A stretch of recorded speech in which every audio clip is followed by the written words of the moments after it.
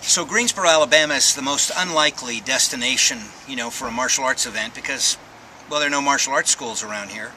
But what draws us to the community is this kind of uh, cutting-edge, avant-garde uh, design uh, crew that that works out of this area. They're architects, designers, artists, and uh, they're using their skills to benefit the town. And I think that they're that having martial arts instructors come in and work around these people and see how they operate and how they develop projects with very little budget and a lot of creativity and innovation uh, is something that every martial arts school should benefit from and could benefit from.